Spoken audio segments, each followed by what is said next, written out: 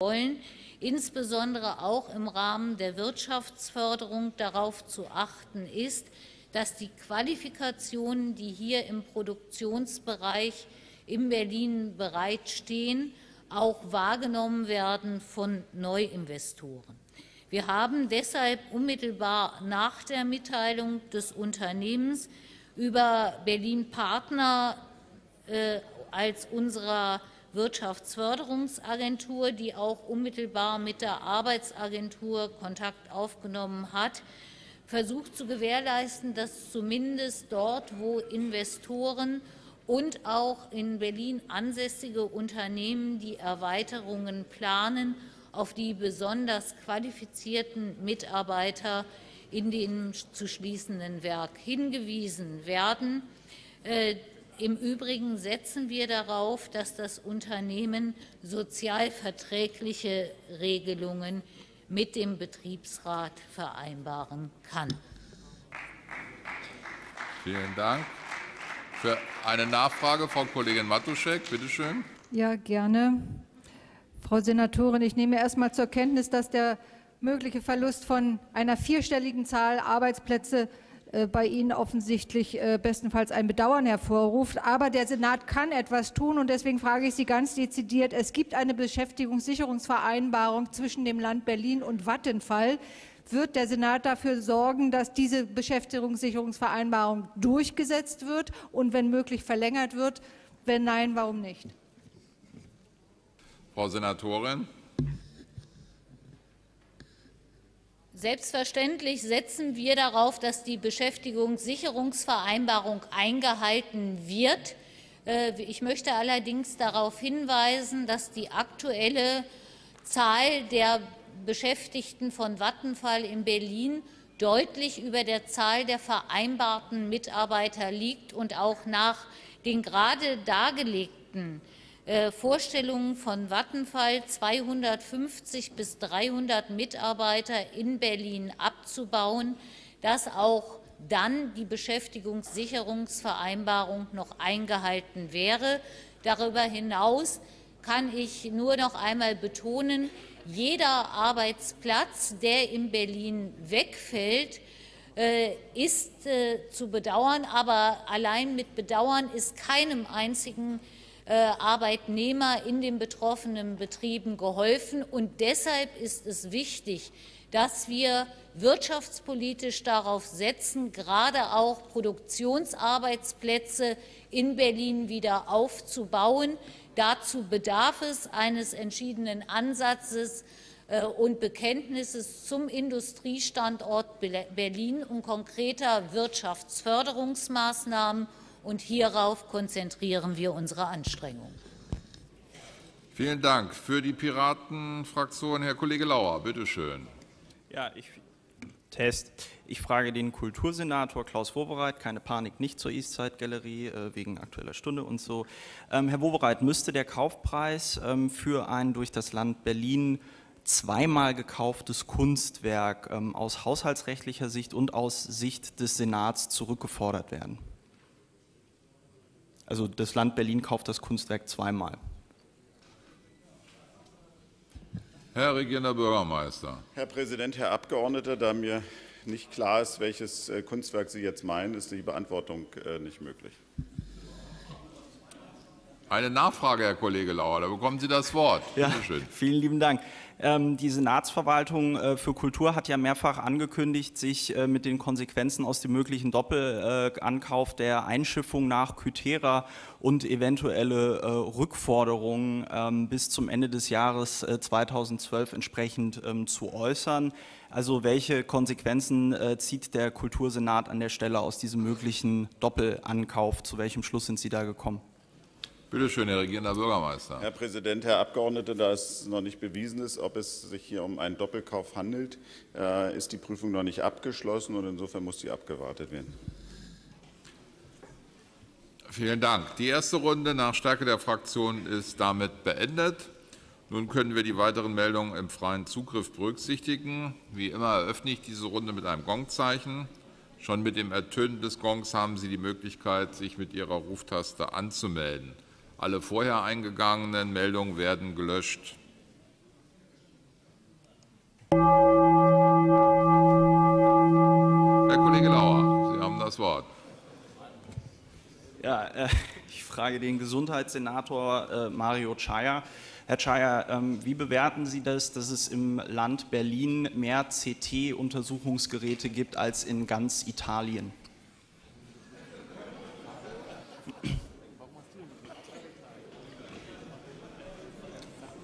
Ja, Herr Senator Chaya. Sehr geehrter Herr Präsident, Herr Abgeordneter Lauer, das zeigt, dass die Arbeit der Vertriebsmitarbeiter der Medizintechnikunternehmen in Berlin außerordentlich erfolgreich war. Herr Kollege Lauer, wünschen Sie eine Nachfrage zu stellen? Ja, bitteschön. Ja, ähm, welche Konsequenzen ziehen Sie denn daraus? Also gibt es möglicherweise Bestrebungen in Ihrem Haus, mal dort auf den Grund zu gehen, ob ähm, das denn nötig ist, dass so viele CTs in Berlin äh, durchgeführt werden oder sind Ihnen irgendwelche gesundheitlichen Risiken hier bekannt, äh, die uns alle besorgt machen sollten, sodass wir auch diese äh, gut verkauften CT-Geräte mal aufsuchen sollten? Herr Senator Chaya, bitteschön. Also, sehr geehrter Herr Präsident, Herr Abgeordneter Lauer, hinter Ihrer Frage steckt natürlich eine äh, ernst, ein ernstzunehmendes gesundheitspolitisches Thema, nämlich die Frage, ob ein Zuwachs an Apparatemedizin auch Diagnostik induziert, die nicht immer zwingend erforderlich war und deswegen auch Angebote äh, an Patienten, egal ob privat oder gesetzlich, angeboten werden, die eigentlich so für die Gesundheit nicht notwendig wären. Hinzu kommt, dass Investitionen in Krankenhäuser sowohl in Mobilien als auch in Immobilien vom Land zu tragen sind und eine Wiederbeschaffung und die Wiederbeschaffungskosten solcher einmal angeschafften Geräte ja immer wieder im Rahmen der Investitionsplananmeldung von Krankenhäusern offeriert wird und dadurch auch die Summe, die der Staat für Krankenhäuser ausgibt, immer mehr steigt. Mit dieser Frage äh, muss man sich immer wieder auch im Rahmen der Krankenhausplanung beschäftigen. Und deswegen funktioniert es nur, dass wir versuchen, im Rahmen der Krankenhausplanung stärker als bisher Subdisziplinen auszuweisen, um damit einzelnen Kliniken, die gut in einem Gebiet sind und auch in der Apparatemedizin gut sind, diesen Fokus auszurichten, aber anderen Kliniken damit eben auch andere Versorgungsaufträge zuzuordnen. In den letzten Jahren, in den letzten zehn Jahren ist der Berliner Krankenhausplan aber eher davon gezeichnet gewesen, dass mehr Liberalität und Freiheit möglich waren, was dazu geführt hat, dass die Krankenhäuser ähm, sehr viel häufiger ähm, eben auch die Bettenausweisungen und die Leistungsausweisungen vorgenommen haben, die sich möglicherweise mehr rechnen als sprechende Medizin. Und das hat auch zu einer Zunahme an Apparatemedizin in Berlin geführt. Damit muss man sich im Rahmen der Krankenhausplanaufstellung kritisch auseinandersetzen, ähm, damit man hier nicht angebotsinduzierte Nachfrage möglicherweise noch zum Nachteil der Patienten erreicht. Vielen Dank. Herr Kollege Haberg als nächstes. Ja, oder gibt es noch einen Haberg? Ja, dann reiche ich Bitte mal. schön. Ja, was habe ich denn hier? Ähm, welche drei Kon also welchen muss ich überhaupt fragen? Äh, welche drei konkreten Projekte der Sie, Sie müssten mir uns so, erstmal äh, verraten, wen Sie äh, was Verkehrs- fragen wollen. Verkehr, Verkehr, ist eine Verkehrsfrage. So. Welche drei konkreten Projekte der neu verabschiedeten Radfahr Radverkehrsstrategie wird der Senat als erstes umsetzen? Herr Senator Müller. Herr Präsident, Herr Abgeordneter, das ist ja nun ein laufender Prozess, wo mehrere Initiativen ähm, parallel verfolgt werden. Wir haben das ja auch dargestellt. Seit äh, Monaten oder Jahren kann man sagen, sind wir ja auch schon dabei, gemeinsam mit den Bezirken und in Abstimmung mit den Bezirken die Fahrradstreifen anzulegen. Dieses ähm, äh, Netz ähm, Schritt für Schritt weiter auszubauen. Wie gesagt, immer mit den Bezirken äh, zusammen dieses Wegenetz zu ertüchtigen. Es geht natürlich weiter auch um die Abstellplätze. Das ist ganz klar, wo wir ähm, einfach auch eine nutzerfreundliche Infrastruktur bieten wollen an interessanten Knotenpunkten. Und das andere sind sicherlich auch Fahrradleihsysteme, die wir Schritt für Schritt weiter ausbauen wollen und werden mit Kooperationspartnern. Das ist ein Beispiel der Radverkehrsstrategie, ähm, die wir jetzt, äh, ein Beispiele, die wir weiterverfolgen werden, gemeinsam mit anderen Initiativen. Herr Herberg für eine Nachfrage, bitte schön, Ja. haben Sie das Wort. Ja, das waren ja jetzt äh, viel Blabla wieder, deswegen die Nachfrage, äh, wann wird denn ein spezielles Projekt zum Beispiel mal abgeschlossen? Also wann krie- Herr Senator.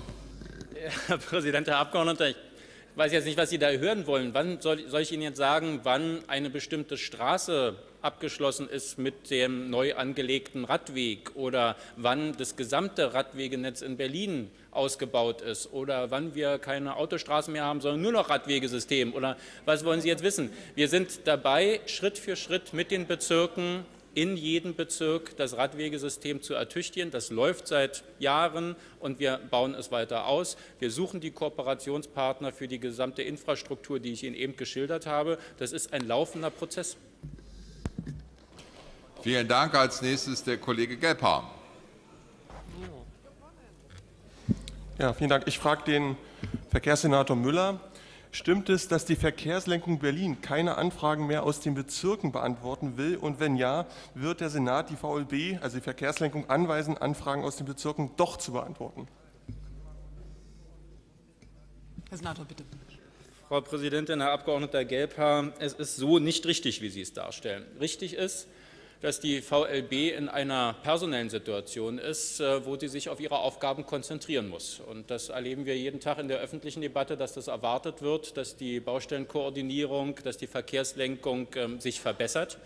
Darüber hinaus ist es ja völlig selbstverständlich, dass die Anfragen und die Aufträge des Parlaments, des Abgeordnetenhauses entsprechend bearbeitet werden.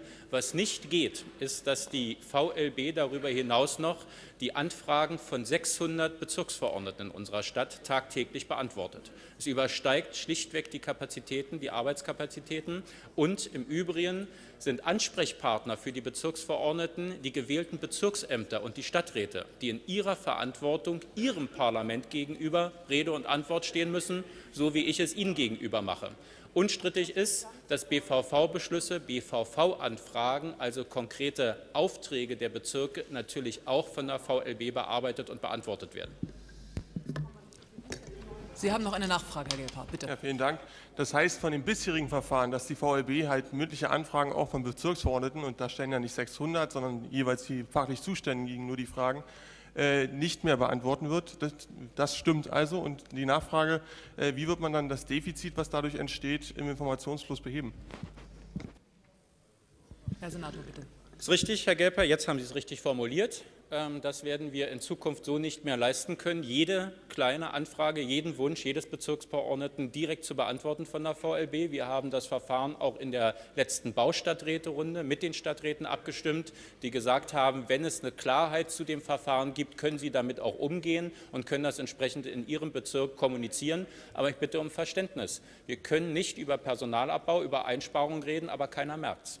Es ist so, dass ich in meiner Verwaltung 250 Stellen abbauen muss. Es ist so, dass ich mich auf Aufgaben konzentrieren muss. Wir haben diverse politische Schwerpunkte in unserer Stadt. Die VLB gehört mit ihrer Arbeit dazu, aber auch sie muss sich im Rahmen ihrer Tätigkeit auf Aufgaben konzentrieren. Vielen Dank, Herr Senator. Das Wort zur nächsten Frage hat die Abgeordnete Frau Kofbinger. Bitte sehr. Ja, vielen Dank, Frau Präsidentin. Ich frage natürlich am Tag vor dem Internationalen Frauentag die Frauensenatorin Frau Kollert. Frau Kollert, wir haben ja ähm, ziemlich genau vor einem Jahr schon mal hier gesessen, das war der 8. März, und haben hier äh, auch ein Fragespiel gespielt. Damals waren Sie ja, was wir alle verstanden haben, noch nicht 100 Prozent auskunftsfähig. Sie hatten gerade die ersten 100 Tage hinter sich. Und deshalb habe ich mir diese Frage noch einmal vom letzten Jahr vorgenommen. Sie haben damals gesagt, es gibt äh, die zwei. Frage, die Frage ist, es gibt zwei Aktivitäten und zwar einmal Ihre Aktivität mit der